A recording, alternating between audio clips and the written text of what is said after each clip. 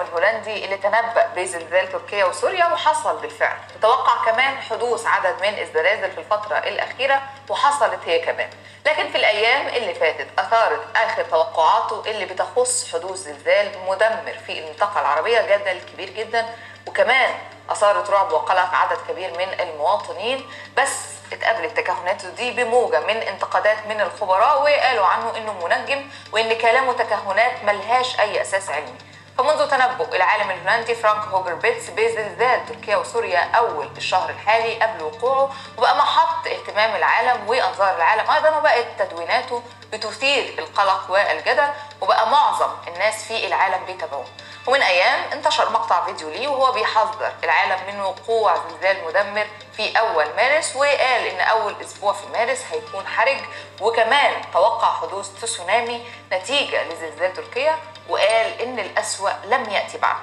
تنبأ كمان بحدوث هزة أرضية بمصر ولبنان لأن المنطقة عرضة للنشاط الزلزالي ولكن مش هيقدر يجزم إذا كان الزلزال ده هيحصل إمتى لأن التنبؤ بتاريخ حدوث الزلزال أمر مستحيل ووضح إنه بيستعين بتوقعاته بموقع القمر والتقلبات المناخية المحتملة. أما آخر تدويناته أظهر فيها خريطة وعليها علامات باللون الأحمر وعلق عليها وقال إن المناطق المحيطة بالمنطقة العربية ذات مخاطر عالية لزلازل أقوى من اللي حصل يوم 6 فبراير في تركيا وسوريا. وضح إنه مش بيتنبأ بمواعيد الزلازل على وجه التحديد وإن اللي بيقوله مؤشر عام وليس محددا زمنيا.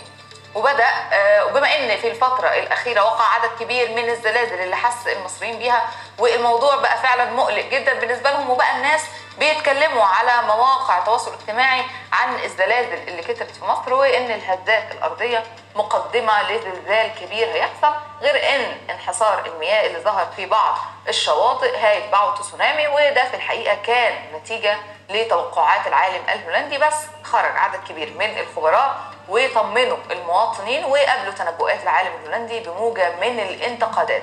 ورد بالفعل الدكتور جاد القاضي رئيس المعهد القومي للبحوث الفلكية والجيوفيزيقية على المناشدات اللي بتطالب أهالي المدن الساحلية بتركها فورا خوفا من حدوث تسونامي بسبب زلزال تركيا وقال إن حالة الهلع والخوف الزائد والتهويل الموجوده على منصات التواصل الاجتماعي ملهاش أي أساس من الصحة وعلى المواطنين تحري الدقة وأخذ المعلومات من مصادرها.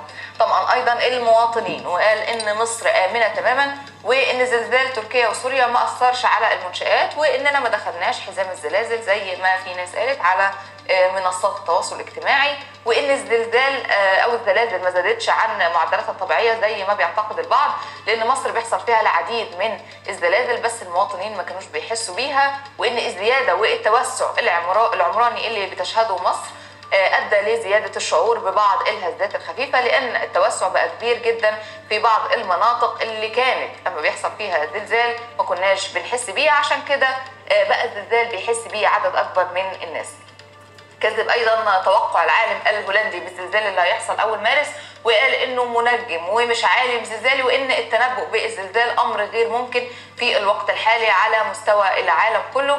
ولكن من الممكن توقع حدوث زلازل في بعض المناطق من خلال متابعة النشاط الزلزالي لكل منطقة. ووضح إن كلامه دار حول الأماكن المثبتة على نطاق الأنشطة الزلزالية واللي من المحتمل حدوث زلزال فيها في أي وقت. فحديثه مجرد تكهنات. كمان قال إن طريقة العالم الهولندي اللي بتعتمد على حركة الكواكب والنجوم وطريقة وأشكال ظهورها على الأرض غير علمية ولا يمكن الاعتماد عليها ويجب ألا نعطيه قيمة أكبر من قيمته. كده نكون وضحنا لحضراتكم كل التفاصيل وفي النهاية بنتمنى لكم السلامة ونشكركم على حسن المتابعة وإلى اللقاء.